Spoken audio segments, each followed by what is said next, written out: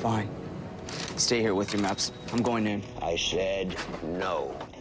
I don't take orders from anyone, especially a man who couldn't save his own family. Hey! Listen to me here, sonny boy. You do not talk to me about my family. You hear me? Stop! I told you he hasn't changed. Ah, entonces hablas español. Sí, claro. ¿Eres de México?